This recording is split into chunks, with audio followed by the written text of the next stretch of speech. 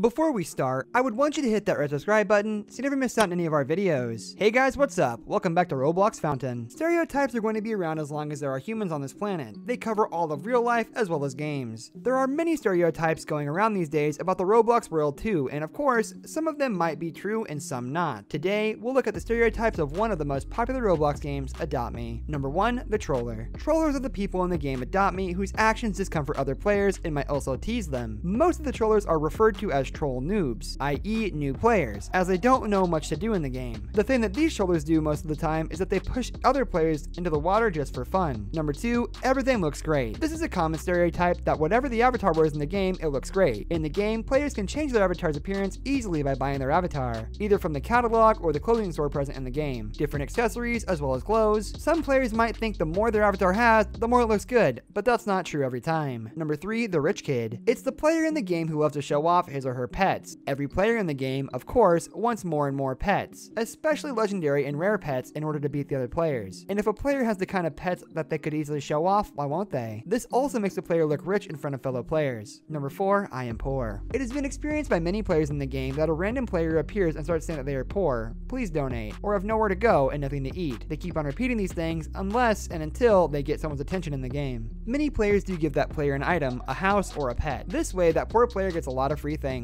Number 5. The dramatic role players. Some players in the game do different role plays. Most of the players think it is a fun activity, but sometimes these role plays might hurt the other players. Many players get into a conversation with other players and say what they actually want to by labeling the whole conversation as a role play. Number 6. The scammer. This stereotype somewhat relates to the poor guy, as sometimes the players are not actually poor, but still do this as a tactic to scam other players, and most of the time succeed in it too. After receiving items from a player, they also clearly say that they have scammed him or her. The players in the game do also get scammed in the name of this trust trade. In this trust trade, one player first trades their pet, and after the other player accepts it, it's his or her turn to trade it back. But instead of trading back anything, the person just ignores the other player or says they won't trade back. Number 7. The Chatter. The Chatter is a player in the game who keeps on saying things from time to time to every other player he or she meets in the game. Even the things that the player does or says makes no sense at all, and it seems like this player only joined the game to chat with other players. Some players ignore the chatter, and some do start a conversation. Number 8. The Big House. There are many players in the game who have got huge houses. The furniture and the items in the houses are also pretty impressive. It seems like these players have some kind of obsession with such things, but not with the pets in the game.